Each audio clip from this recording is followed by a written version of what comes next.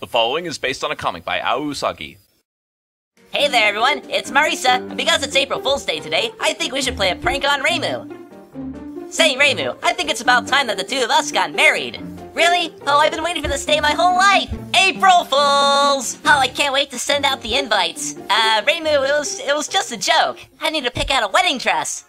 And so the two of us got married. Crap.